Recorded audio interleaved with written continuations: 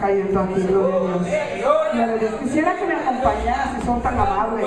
Señor, eso es. Es una alabanza, gloria a Dios, de adoración. Gloria a Dios. Algo está cayendo aquí, gloria a Dios, aleluya. Mi alma te adora, Jesús.